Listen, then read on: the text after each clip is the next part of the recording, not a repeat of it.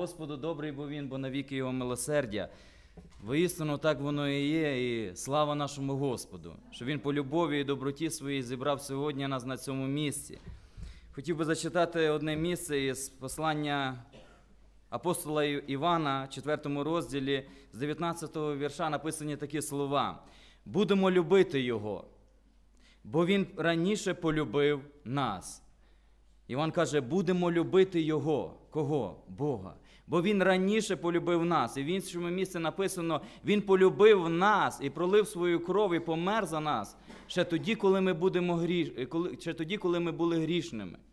І сьогодні він каже, будемо любити його, бо він раніше полюбив нас. І далі такі слова: хто каже, я люблю Бога. І далі він говорить трошки про чуть-чуть про інше, але в тому самому руслі.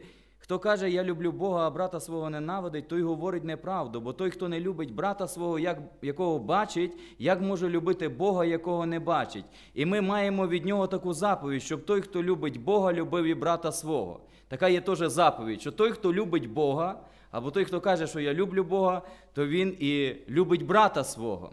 І я би сьогодні хотів трошки перевести от, е, любов на подяку. Воно, по суті, одне є і те саме. Якщо я люблю Бога, я буду робити те, що Він мені говорить, і буду любити брата свого. І якщо я люблю Бога, я буду йому дякувати.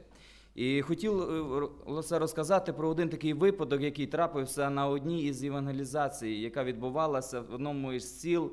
Приїхали брати, сестри, і вони по проханню того села.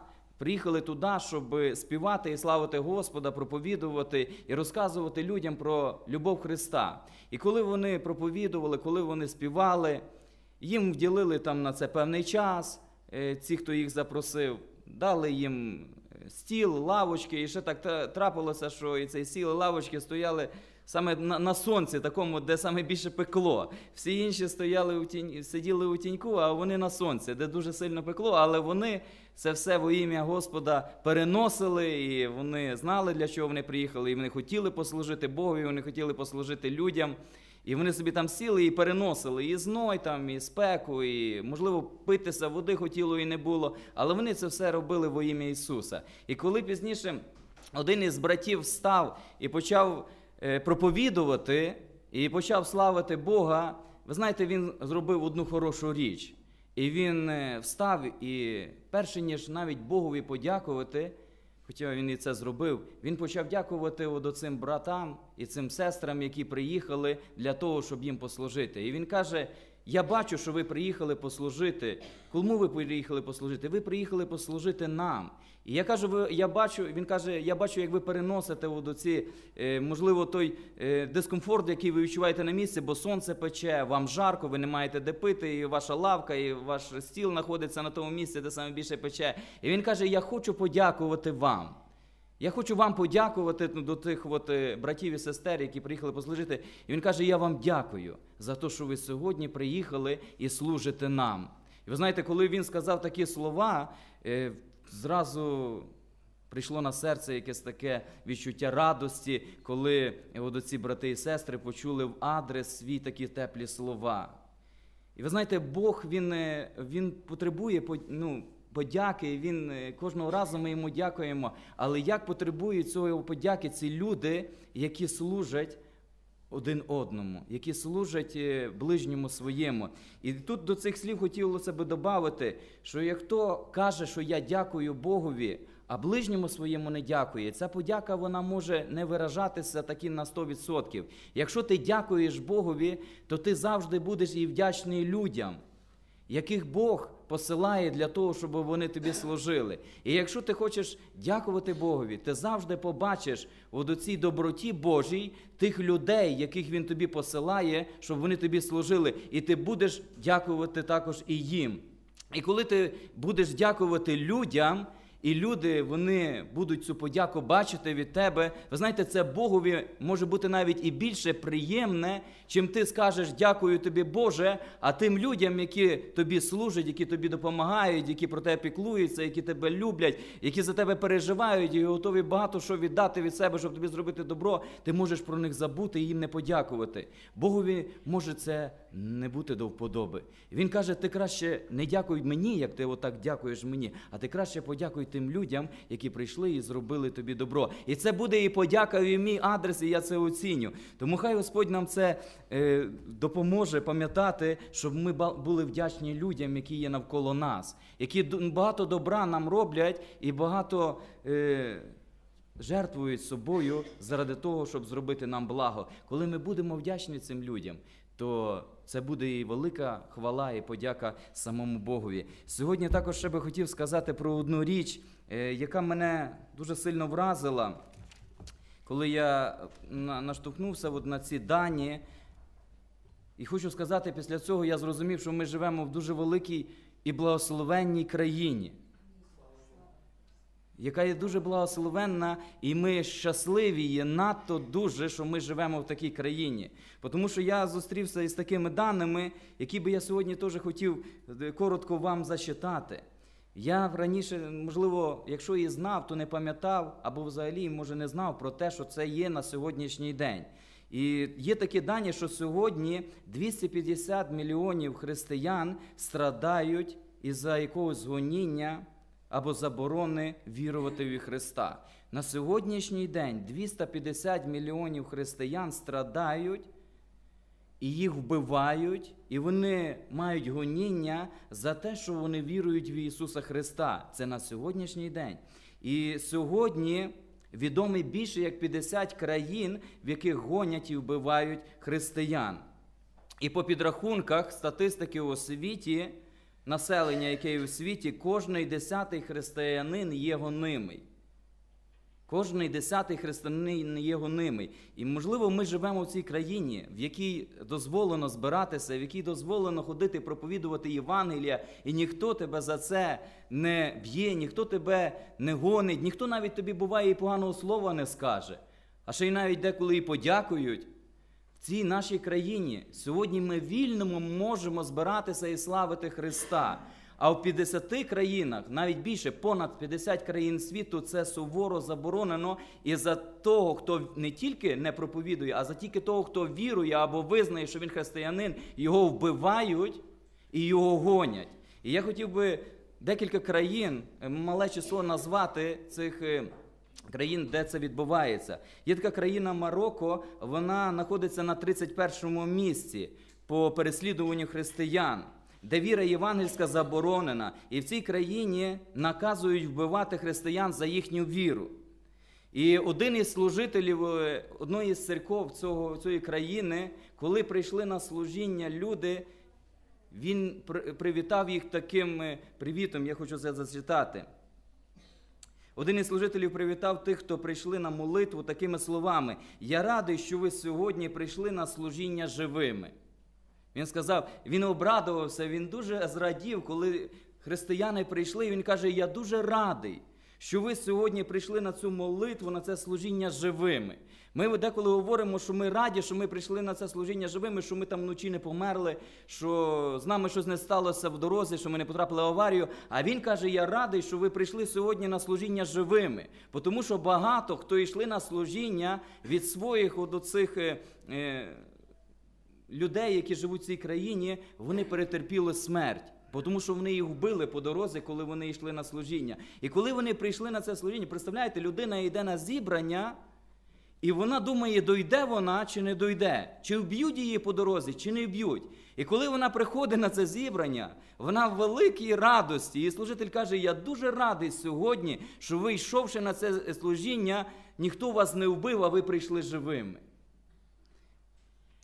Слідуюча країна Пакистан, яка знаходиться на 11-му місці серед країн, які гонять і вбивають християн. Тож там дуже великі переслідування відбуваються і теж йдуть вбивства. Друге місце по переслідуванні християн займає країна Іран. Там кожний мусульманин, який стає християнином, приречений на смертну кару. Там такий от закон, що якщо мусульманин навертається від е, Мухаммеда чи Аллаха і приймає Ісуса Христа як Господа, він приречений на смертну кару. І одного разу це один тільки одне із свідчень, яке говорив один із е, християн, які е, вірував в Ісуса Христа. Він каже, що йому постійно дзвонили і погрожували. Що якщо ти не зречешся від Ісуса Христа, ми тебе уб'ємо. І йому дзвонили постійно і погрожували. І він каже: Я не міг залишити віру в Ісуса. І він каже, прийшов час, коли моїх маленьких дітей викрали із мого дому. Одну мою дитину, дочку, яка мала, можливо, там 15 років, десь приблизно так, каже, е, її зґвалтували. Каже, на моїх очах. І це все зараз відбувається в цих країнах. І коли я дивився одну із картин, коли от є така мусульманська країна ІГІЛ, здається так, там е, е, знімали от відео, коли на перехрестях доріг сьогодні розпинають християни, як розпинали Христа. Коли їх е, роз- розпинають от на різного роду парканах, деревах, от у хрестах, які роблять, і просто-напросто їх вбивають, і вони залишають їх висіти там на хресті, цьому, який вони зробили, щоб усі, віруючи в оці, бачили, що буде із тими, хто буде вірувати в Христа.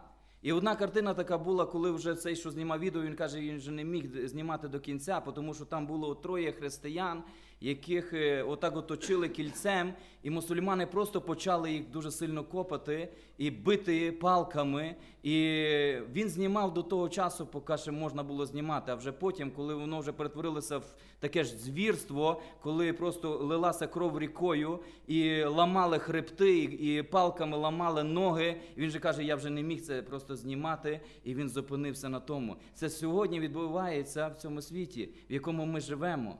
І ми сьогодні повинні так дякувати Богові, що ми так вільно маємо можливість приходити на це зібрання. Перша країна, яка знаходиться от на першому місці серед е, країн, які гонять християн, це є Північна Корея. Це саме небезпечна країна для християн у всьому світі, де люди зобов'язані поклонятися от померлому лідеру країни і його сину. Якщо ти не поклоняєшся, ти приречений теж на те, що тебе можуть вбити або відіслати в якийсь концтабір, і там так і, на, е, так, там так і роблять. І християни, християнам е, там наказують, їх наказують і вбивають, і відправляють в каторжні лагеря, де вони зазвичай і помирають. Там або тебе накажуть і вб'ють, або тебе відправлять у каторгу, у каторгу, десь в лагер, де ти від тих мук просто там помреш, і ти вже звідти не вийдеш. Це відбувається сьогодні у Північній Кореї. Християнські місіонери, які одного разу приїхали в Північну Корею, вони були страчені лише за те, що вони відмовилися ві- ві- поклонитися іншому Богові, крім Ісуса. Вони були страчені тільки за те.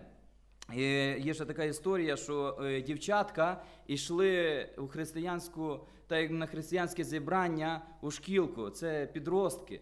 Вони йшли до цю християнську шкілу, шкілку одна із дівчаток з своїми трьома друзями. І коли вони йшли, на дорозі на них напали двоє мужчин і їх порізали. І тільки одна дівчинка залишилася живою. Тільки одна дівчинка залишилася живою. Це маленькі діти, які йшли на те, щоб почути слово про Ісуса Христа. І теж статистика говорить, що 60% переслідувань християн це відбувається з дітьми. От е, із всього проценту переслідування переслідують 60% дітей. Така статистика. І ще е, хотілося от теж сказати, що один із християнинів, який живе в Північній Кореї, він коли вибрався раз із своєї країни і в нього брали інтерв'ю, він сказав такі слова: що ми, каже, в своїй країні ми не маємо ні благ, ми не маємо ні свободи, але він сказав, но ми маємо Христа, і нам цього достатньо. То, то дуже сильні такі слова, теж, які дуже вразили. І ще раз. Він каже: ми не маємо ні благ, ми не маємо ні свободи. Каже, але ми маємо Христа. І каже, нам цього достатньо. І слава нашому Господу, що ми живемо в цій країні. Я навіть хочу сказати, я отак говорив про ці країни, і їх ще є 50 з лишком. Ну ви знаєте, і в нашій країні відбулися теж ці звірства, коли на сході почалася ця війна. Там теж багато наших віруючих братів, християн, вони перенесли смерть. Через те, що будуть ці бойовики, вони коли прийшли, вони побачили, що це є не та віра, і вони просто теж їх там розстрілювали, і вони їх там питали. Це дуже страшно. Це і там на сході це відбувалося. І не знаю, можливо, навіть і зараз відбувається. І коли от це все, от та картина була, наскільки от був призив, щоб ми молилися і не забували про тих лю- людей, про тих християн, які сьогодні несуть такі страшні страждання за віру в Христа. І дивіться, наостанок уже скажу, що за даними статистики сказано таке, що за останнє століття було вбито християн більше, ніж за всю історію людства. За останнє століття, от яке ми прожили, вбито було християн